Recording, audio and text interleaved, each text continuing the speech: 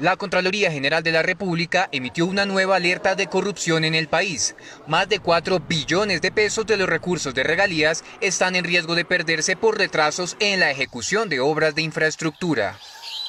Hemos levantado, mediante el modelo analítico creado en la Diari, 211 alertas en más de 480 proyectos de regalías proyectos en el que el mayor número de alertas se encuentra en el sector de infraestructura vial, con una inversión de 2.52 billones de pesos en obras con retrasos.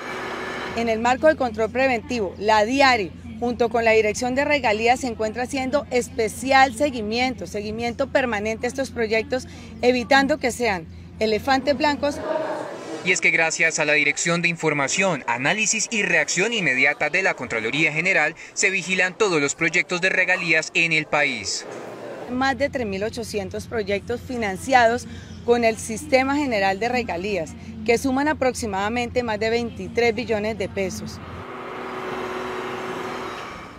Según la Contraloría General de la República, hay 30 proyectos suspendidos y 13 vencidos en riesgo de convertirse en obras inconclusas.